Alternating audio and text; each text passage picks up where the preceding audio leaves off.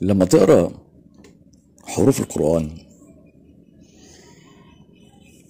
سيبك من الألف واللام دلوقتي القاف هي القوة والقبض. والراء إدراك الرؤية في الوقت المناسب والحكمة منها. والألف والنون أو ألف المد والنون معناها الآن محتواك الآني. ولما تيجي تقرأ القرآن هتلاقيه شوية بيتكلم على الماضي وشوية بيتكلم على اللي بيحصل الآن وشوية بيتكلم على النتائج المستقبلية لتصرفات الماضي.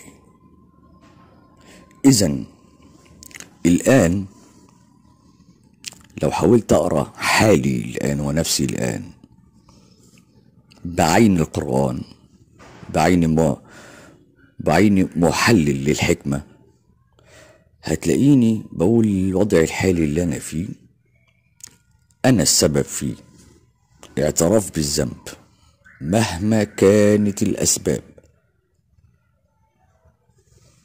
الاعتراف بالذنب نقطة ومن أول السطر. يعني كل اللي فكرت فيه سابقا وتصورته هو نتيجة أفعالي الداخلية التي أخرجت الواقع المرير الذي أعيشه الآن أو الواقع الحسن الذي أعيشه الآن التي خلقت الجنة أو التي خلقت النار. فإذا تكرمتم حللوا موقفكم الآن.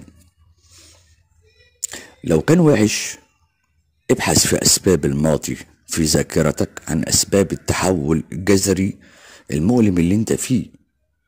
بمعنى عندي مواقف كتيرة جدا جدا حاول تتذكر. ما قدرتش بنروح لواحد بنعمل جلسة ريجريشن للماضي بتاعك. ممكن للماضي بتاع الحياة ديت وممكن للماضي لحيوات أنت عشتها قبل كده. وده موجود في كل الدنيا بس غير متاح في الدول العربية. والمتاح في الدول العربية just for fun. يعني ممكن أنيمك عشان أخليك تبقى كويس دلوقتي لكن يجي يعمل انالايز لل... للأسباب الحقيقية اللي أنت فيه. مش أي حد يقدر يعمل الكلام ده كله. خالص. خالص. يعني مش هتلاقيه يقدر يقول لك يتجاوب معاك. وعلى فكرة اللي بينطق جواك هو هو إيه؟ هو الذات العليا. أو الهاير أو النفس العليا.